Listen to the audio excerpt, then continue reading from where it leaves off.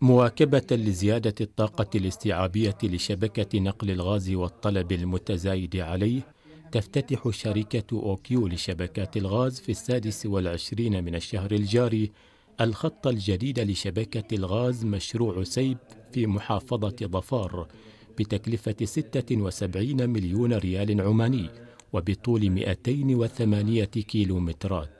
وتبلغ نسبة القدرة الاستيعابية للمشروع 60% لتصل إلى 16 مليون متر مكعب من الغاز يومياً. يأتي هذا المشروع أحد المشاريع الاستراتيجية التي نفذت مؤخرا وإن شاء الله سيتم الافتتاح نهاية هذا الشهر. آه هذا مشروع استراتيجي يأتي استجابة للنمو آه المضطرد في خصوصا محافظة آه ظفار. النمو الاقتصادي على على على مختلف المستويات. الحمد لله رب العالمين نتأمل إن شاء الله إنه يكون زيادة السعة الاستيعابية لشبكة الغاز في محافظة ظفار بنسبة 60% 60% من 10 مليون متر مكعب يوميا إلى 16 مليون متر مكعب إن شاء الله تعالى. وتطرق اللقاء الإعلامي إلى البنية الأساسية لشركة أوكيو لشبكات الغاز إذ يبلغ إجمالي حجم نقل الغاز إلى جميع المحافظات 120 مليون متر مكعب يوميا. كما تشغل الشركة أنابيب بطول يتجاوز أربعة آلاف كيلو متر.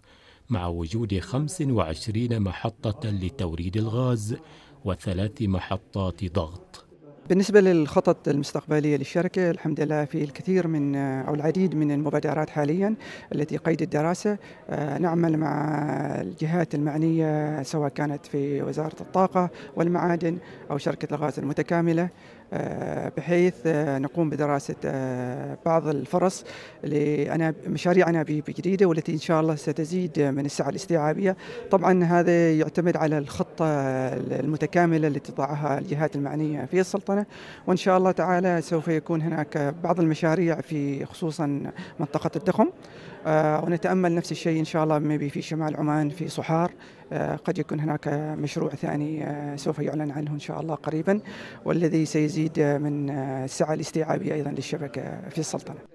هذا ومن المتوقع أن تنمو شبكة الغاز الطبيعي لشركة أوكيو بمعدل ثلاثة بالمئة في المتوسط خلال فترة مراقبة الأسعار بينما وصلت نسبة التعمين بالشركة إلى 94%